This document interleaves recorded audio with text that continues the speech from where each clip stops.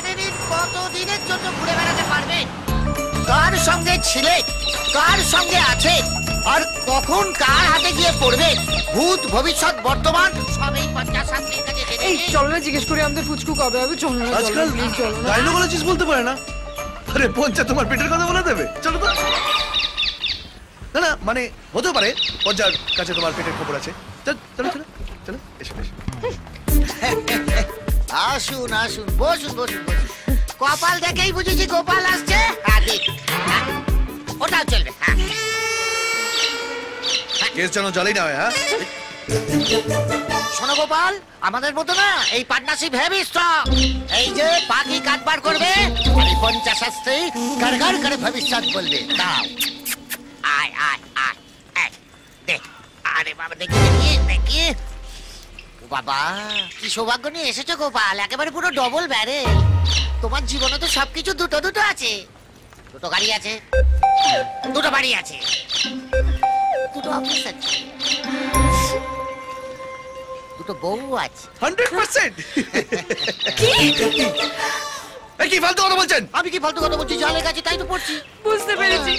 তাই জন্য তুমি আমাকে এখানে নিয়ে আসতে চাইছিলে না যাতে আমি সব সত্যিটা জেনে যাই। তো কি লেখা আছে করে বলো। তো হ্যাঁ, পড়ছি হ্যাঁ। দ্বিতীয় পক্ষের না একটা বাচ্চাও আছে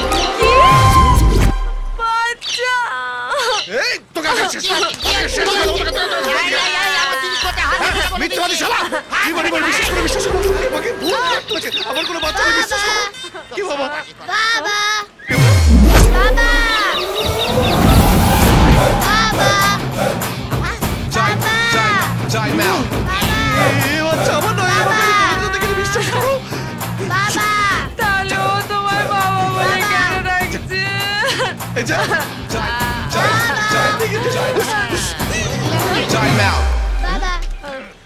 ও বাচ্চাকে সামনে রাখতে না কেস খাইয়ে আমার কিন্তু আছে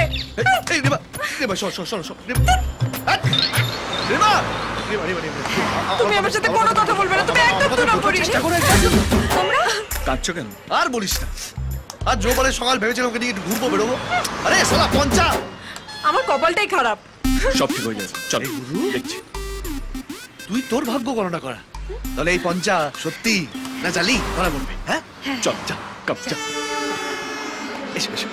আরে এসো না।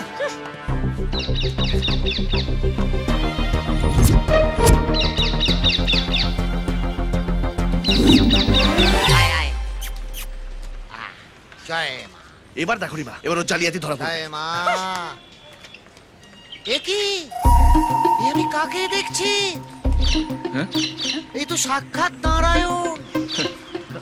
প্রভু আপনি কখন স্বর্গ থেকে মরতে এসেছেন? ও মালক্ষী তোমার সাত জন্মের পুণ্য যে এ যুগে এরকম নারায়ণের মতো বর পেয়েছে। হ্যাঁ জয় নারায়ণ। টিয়া পাখির দিব্যি আপনারা সাত জন্ম ধরে লক্ষ্মী নারায়ণের মতো বিরাজ করবেন আর সকলের ভালো করবেন। হলো? আরে রিমা? শোন। কি হলো? কি হলো? চলো। মালতী আরে, আমার কাঠটা ওর হয়ে গেল ওর কাঠটা আমার। এই কানের ভেতর কিছু হয় না যা হয় নোটে নোটে। হ্যাঁ, হ্যাঁ। জয় জয় জয় জয় আজকে তো ছেড়ে আমাকে আপনার আরেকটা মেয়ে আছে সেটাও বলে দেবো। অসভ্য আরে আমিও বলে দেবো আমি তোকে ছাড়বো ভেবেছিস তুই? আরে ওকে দেখ না চাপ! কি হচ্ছে কি? তুই একটা বাচ্চাই রয়ে গেলি বড় আর হলি না। শোন ভগবান আমাদের বুদ্ধি দিয়েছে কিসের জন্য? কিসের জন্য?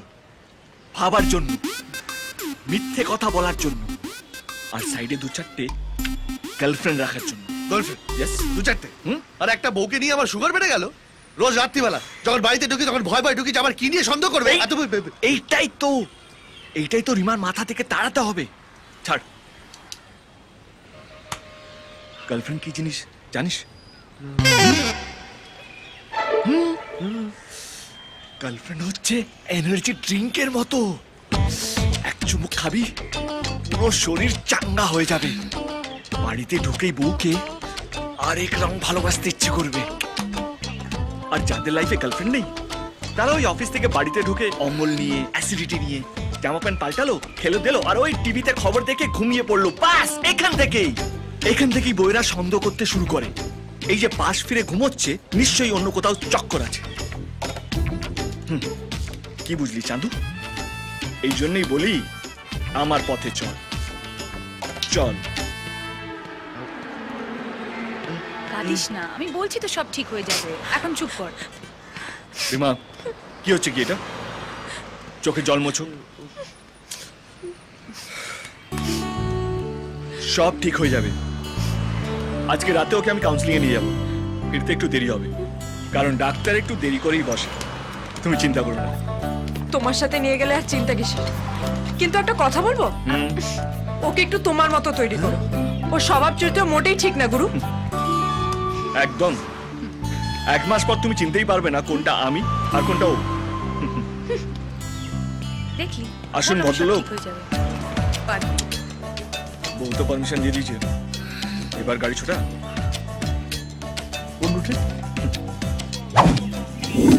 wrong route love me love me love me love me love me love me love me